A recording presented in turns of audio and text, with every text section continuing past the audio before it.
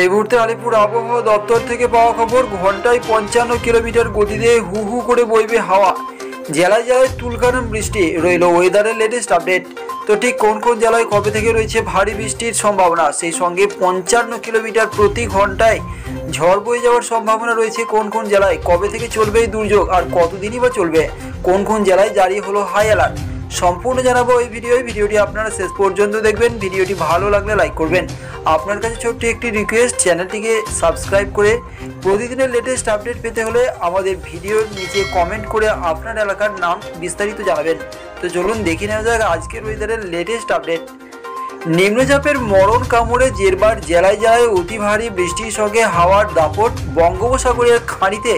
তৈরি হওয়া নিম্নচাপের জন্য পশ্চিমবঙ্গ, ঝাড়খণ্ড, বিহারে প্রবল বৃষ্টির পূর্বাভাস এখনও জারি রয়েছে। ওড়িশার উপরে তৈরি হওয়া নিম্নচাপ ক্ষেত্র অবশ্য খানিকটাও দুর্বল হয়েছে। এদিকে এই নিম্নচাপের জেরে কলকাতায় আজ সারাদিন হালকা থেকে মাঝারি বৃষ্টি হয়েছে।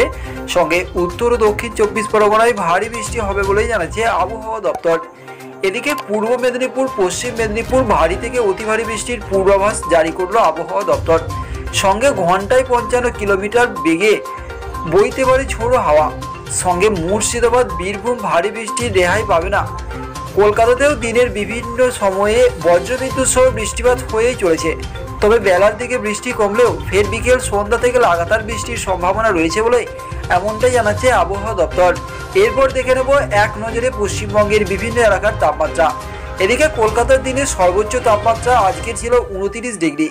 সর্বনিম্ন তাপমাত্রা পঁয়ত্রিশ ডিগ্রির কাছাকাছি ছিল। আপেক্ষিক আর্দ্রতার পরিমাণ সর্বোচ্চ পঁচ- পঁচাশি শতাংশ, ক্লাউড সিলিং পাঁচশো মিটার। বিকেল থেকে বৃষ্টির সম্ভাবনা পঞ্চাশ শতাংশেরও বেশি। বিহার, ঝাড়খণ্ড, পশ্চিমবঙ্গ, সিকিমের বিভিন্ন জায়গায় ভারী বৃষ্টির পূর্বাভাস দিল মৌসুম বিভাগ।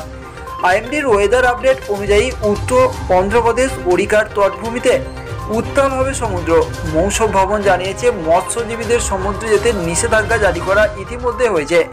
আপনি ভিডিওটি কোন জায়গা থেকে দেখছেন আপনার এলাকার খবর জানতে হলে বিস্তারিত আপনার এলাকার নামটা শুধুমাত্র কমেন্ট করে জানান।